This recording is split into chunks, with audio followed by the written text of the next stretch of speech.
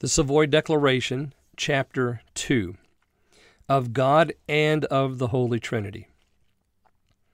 There is but one only living and true God, who is infinite in being and perfection, a most pure spirit, invisible, without body, parts, or passions, immutable, immense, eternal, incomprehensible, almighty, most wise, most holy, most free, most absolute, working all things according to the counsel of his own immutable and most righteous will, for his own glory.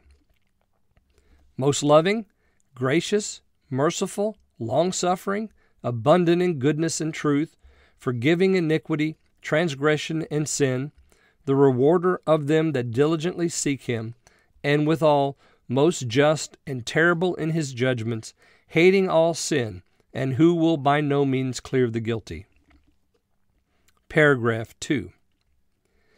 God hath all life, glory, goodness, blessedness in and of himself, and is alone in and unto himself all sufficient, not standing in need of any creatures which he hath made, nor deriving any glory from them, but only manifesting his, glo- his own glory in, by, unto, and upon them.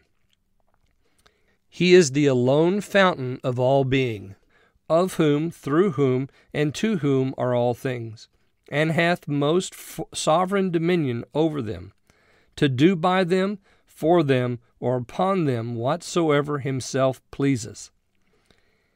In his sight all things are open and manifest, his knowledge is infinite, infallible, and independent upon the creature, so as nothing is to him contingent or uncertain.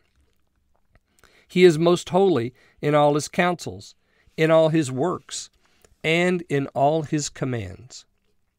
To him is due from angels and men and every other creature whatsoever worship, service, or obedience as creatures they owe unto the Creator and whatever he is further pleased to require of them.